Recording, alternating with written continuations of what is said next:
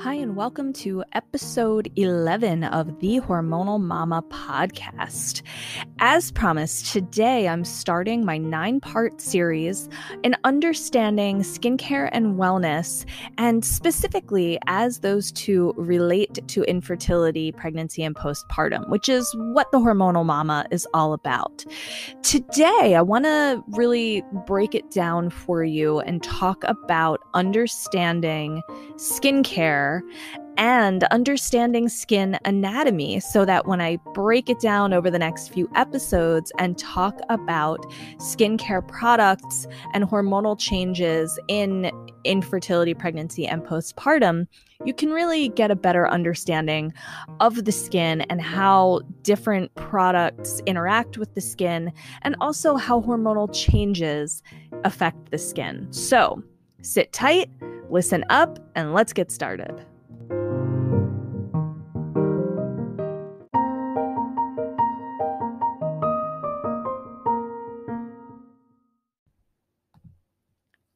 So let's start by talking about what skincare actually is. Before we can even talk about skin anatomy, I want you to understand what skincare means. I mean, it seems pretty straightforward. Skincare is taking care of your skin, but goes a little deeper than that, if you will. So I just kind of want to give you the definition according to Wikipedia. It's a little more detailed than it needs to be, but I just want to read it to you. So, the definition, according to Wikipedia, skincare is the range of practices that support skin integrity, enhance its appearance, and relieve skin conditions. They can include nutrition, avoidance of excessive sun exposure, and appropriate use of emollients. I think that's a pretty good definition, even though it's a little bit over detailed skincare isn't just caring for your skin. It goes, like I said, it goes deeper than that pun intended. There's a lot involved in skincare. It's not just making sure that your skin looks pretty, it's not just making sure that you're applying products appropriately to your skin. It's really making sure that your skin stays as healthy as it can. And that can include going to see an esthetician such as me um, and getting a facial or uh, any other type of cosmetic or dermatologic treatment. Um, so, skincare, you know, in its simplest terms, is caring for your skin. But really, like I said, it, it goes further than that. It's not just taking care of your skin and making sure that it's healthy. It's really making sure that you're not losing the integrity of the skin, like that definition said, enhancing the appearance of your skin. Now, this can sound however you know, it, it might sound a little dramatic or a little over the top, but not necessarily, right? So when we talk about enhancing the appearance of the skin, this can really be a multitude of things that you're doing to enhance the appearance of your skin, whether that's makeup or cosmetic procedures. It's really all very different. My specialty is in aesthetics, which is, you know, skincare. So let me break that down a little bit for you. I want you to understand what an esthetician actually is because very often when I tell someone that I'm an esthetician, I get the response, Oh, you're an anesthetist, so you give people anesthesia? That's not correct. I get anesthetist, I get anesthesiologist, all the time when I say esthetician. Now, I get it. If you've never heard the word esthetician, it can be very easy to be a little confused by that and not understand what that means. For someone like me who has been in this industry for over 18 years, I giggle to myself when I hear someone say, Oh, so you're an anesthesiologist? Well, no, if I was an anesthesiologist, that, that'd be a whole different story here. But I am an esthetician, okay? What is an esthetician? So it's possible that you may have heard the definition, not definition, you may have heard of the other titles for an esthetician, such as a cosmetician or a beautician. Now, we like to go by esthetician because it's a little more technical and a little more detailed. Whereas cosmetician and beautician are, you know, they kind of are outdated terms. So, for example, my esthetician license in my state used to say, for the majority of my 18 year career, it used to say cosmetician.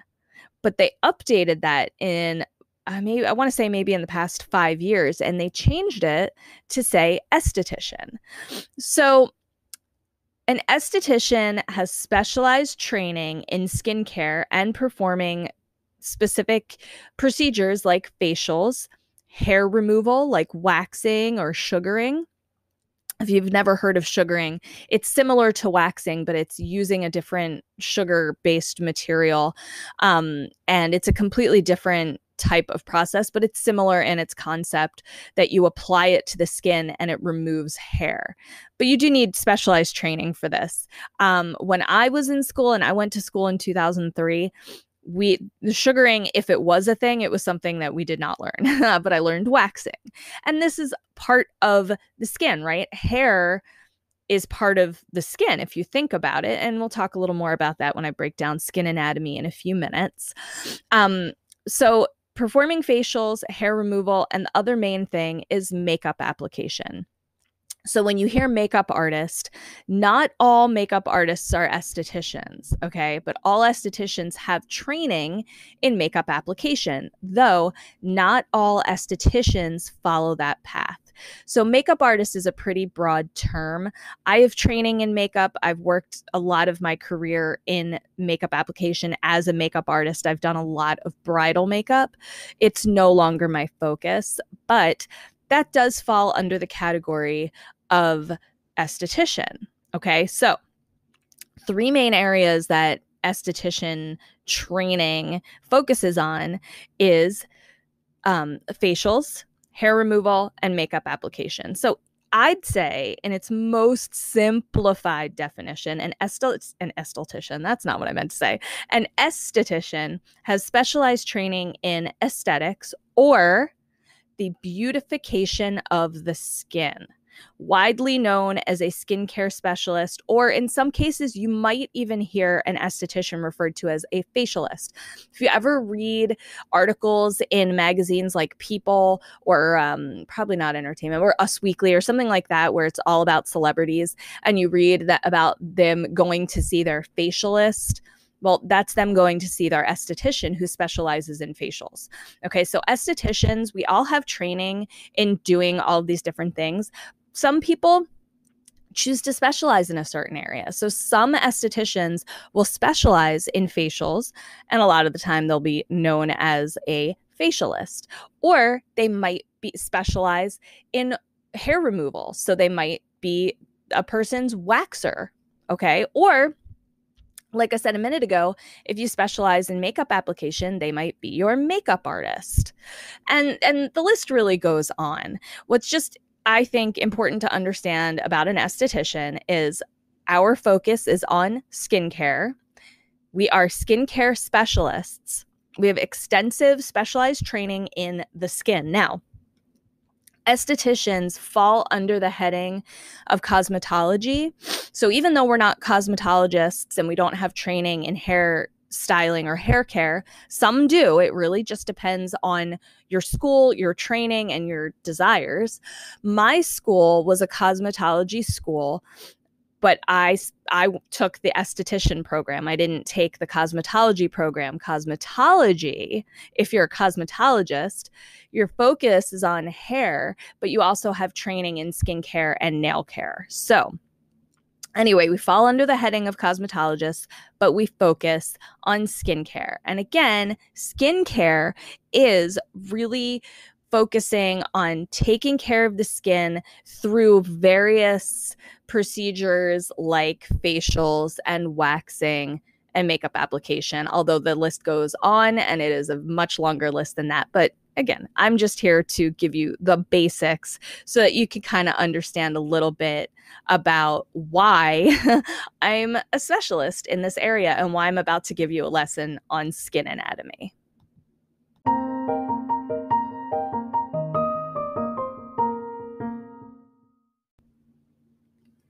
Okay, so here we go. Let's talk about skin anatomy. Now, I know you may be thinking, why on earth am I listening to a podcast educating me about skin anatomy? That sounds so boring.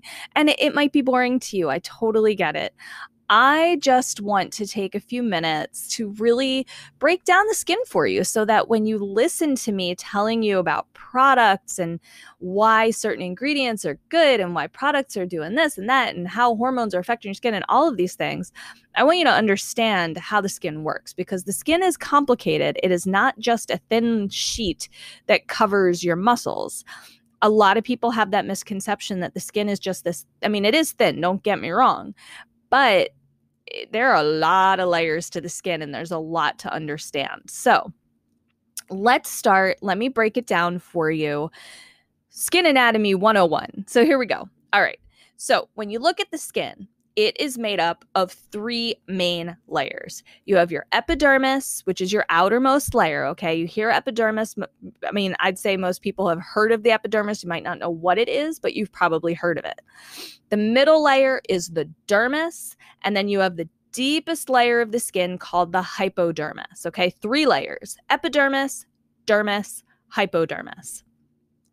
Now, each layer has specific functions and other layers. The epidermis has the most layers, even though it's, I believe, not I believe, I'm about to tell you, it is the thinnest layer in terms of actual thickness. So, the epidermis is made up of five layers, though most of the body it's four layers. I'll get to that in a moment.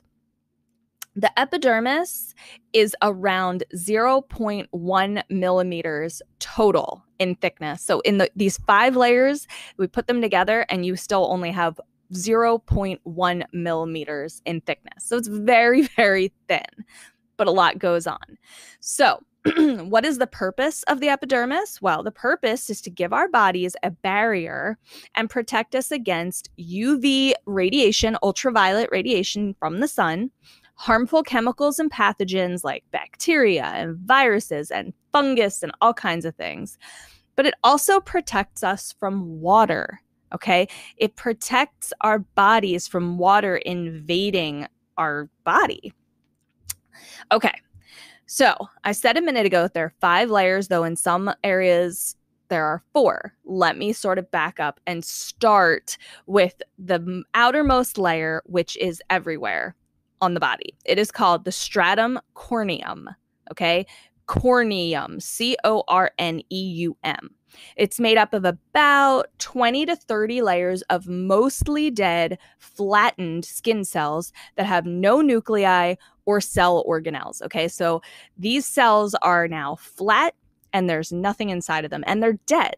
Okay, the stratum corneum functions as the body's first line of defense. the name corneum is derived from the term cornification, which is also known as keratinization.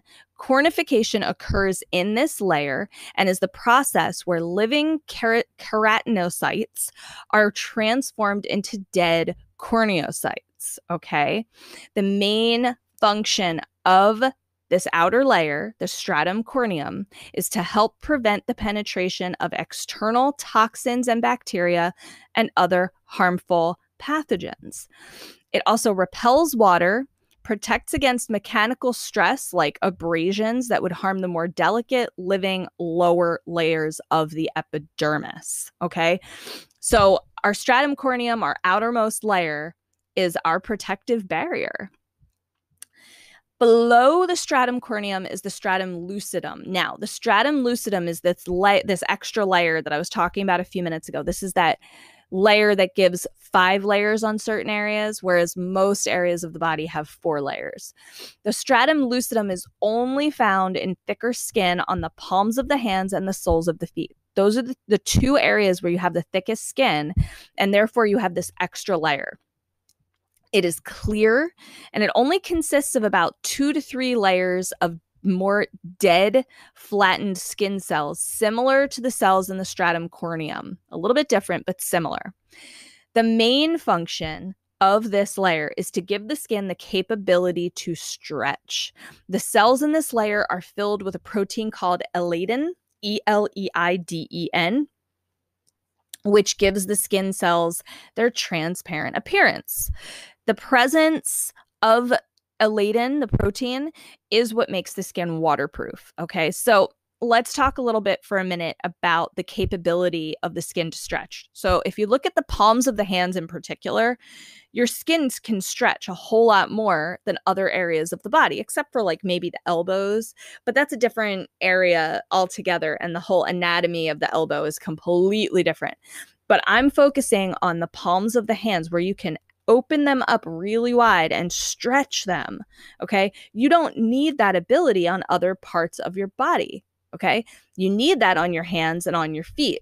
So when you close your hands into like a fist and then you open them really wide, think about that ability. If you look at your skin and you really focus, I'm doing it right now while I'm talking to you.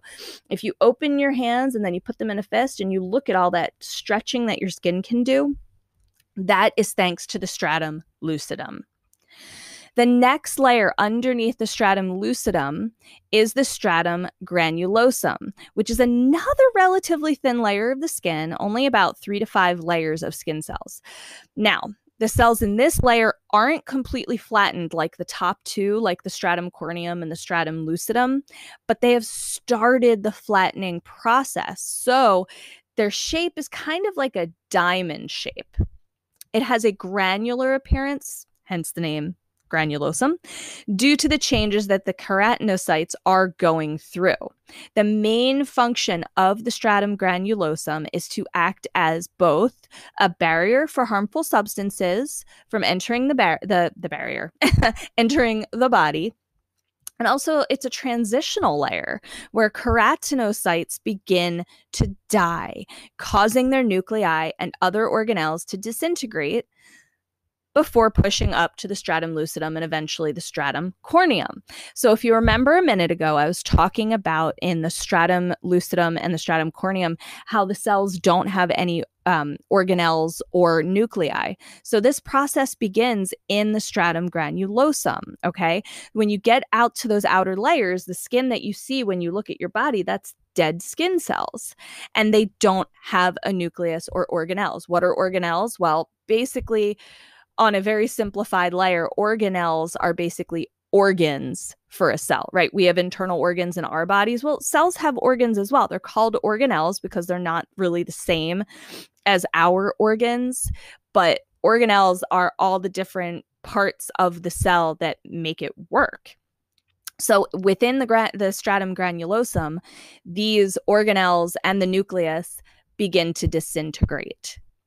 Okay, Next up, under the stratum granulosum is the stratum spinosum. This is a thicker layer, right? The other layers we were talking about, other than the stratum corneum, which has 20 to 30 layers, but remember, those layers are flat.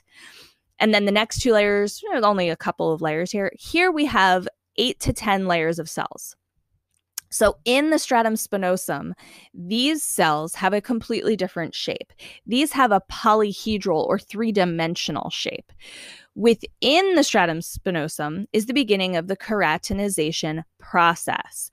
Keratinization is a process during which epithelial cells become filled with keratin protein filaments. So when I say keratinization, I'm talking about keratin, okay? It's excuse me this is the process where keratin filaments fill filaments fill ha no anyway fill the cells. Now when i talk about epithelial cells epithelial cells are cells that line various structures inside and outside the body including the skin. This is a lining. If you th- hear epithelial just remember this is a layer of of uh, cells that line something the main function of the stratum spinosum is to help with skin flexibility and to help the epidermis to withstand the effects of friction and abrasion. Okay, that is the stratum spinosum. Our bottom layer, the very last layer in the epidermis, is the stratum basale, B A S A L E, also known as the stratum germinativum. It is the bottom layer, okay? The deepest layer, it contains stem cells that create keratinocytes and also contains melanocytes. Melanocytes have two functions. First, produces melanin, right, which gives skin its color the second function is to protect the living cells in the skin from damage from UV radiation. Okay. So, our two main cells in this layer are melanocytes and keratinocytes. This layer is a single layer. It's a single a singer, a single layer of cells that are either cuboidal or columnar. So they're either in like a cube shape or like tall columns, okay? Um if you go to my website and you check out my blog post, um, the title is Let's Talk About Skin Baby. Yeah. Anyone? Haha. You know, like let's talk about sex baby. Anyway, 90s, Salt-N-Pepa, whatever. Anyway, if you go to my website and you check out that blog post, I have a slideshow and I have some illustrations for you so you can get a better visual if you're a visual person. Um, okay, so the stratum germinativum or stratum basale is the bottom layer of the epidermis. Okay, so we have five layers in the epidermis. Okay, that's pretty, I don't know, that's pretty, uh, pretty thin. But again, unlike the layers in the outer, uh, unlike the cells in the outer layers, they're not flattened. Okay, they have like a three dimensional shape here.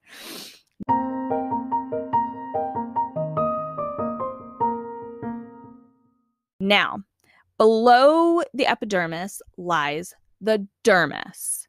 Now, the dermis is only made up of two layers, but even though it's only two layers, it is much thicker. So the dermis varies throughout the body, but it is between one and four millimeters. Still pretty small, but much thicker than the epidermis.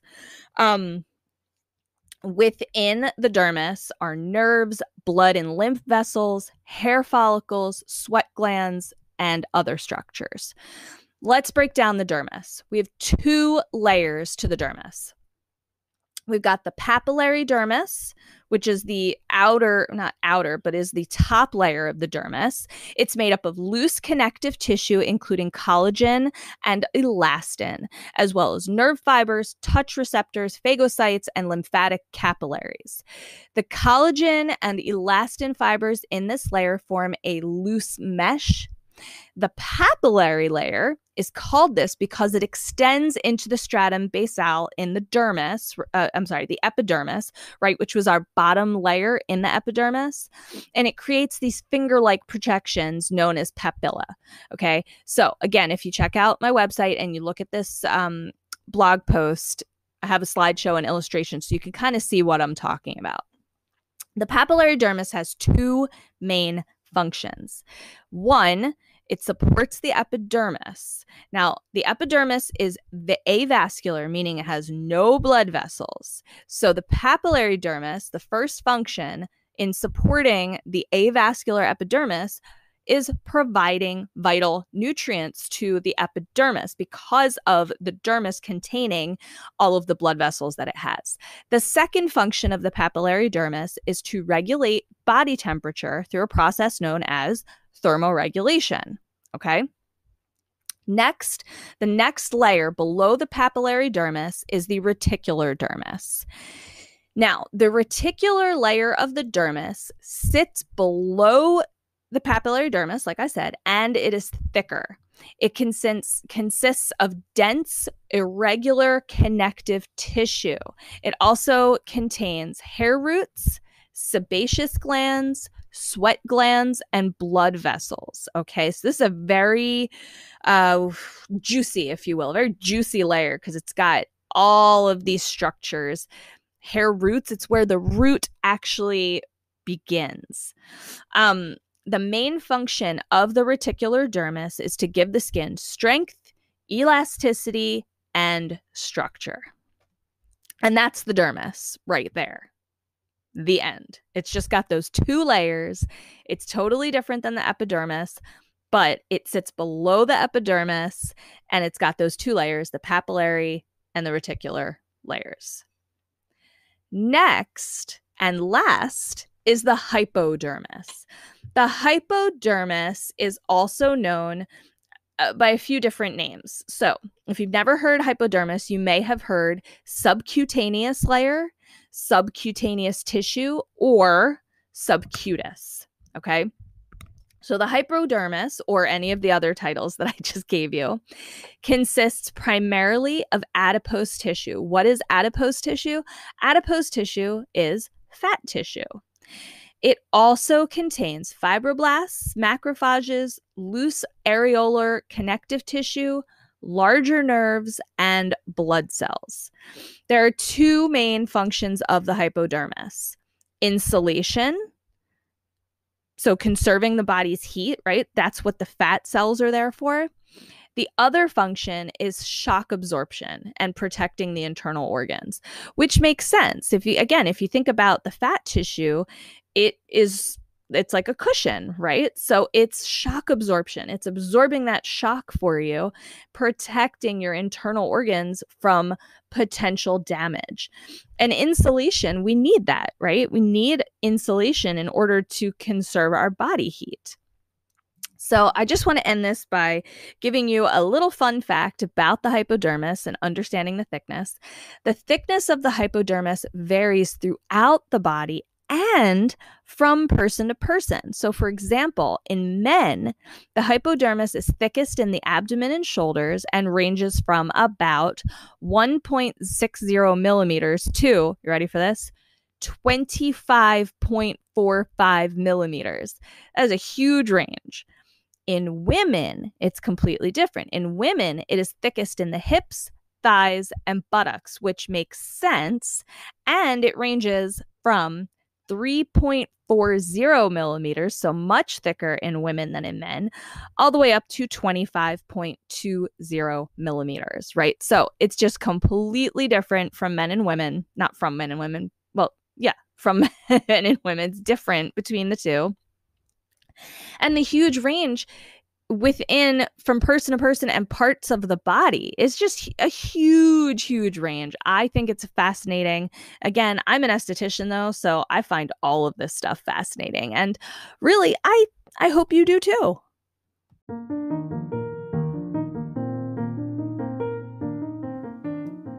So, I hope that was helpful in understanding skin anatomy a little bit and a, a little background about what an esthetician is, what skincare is.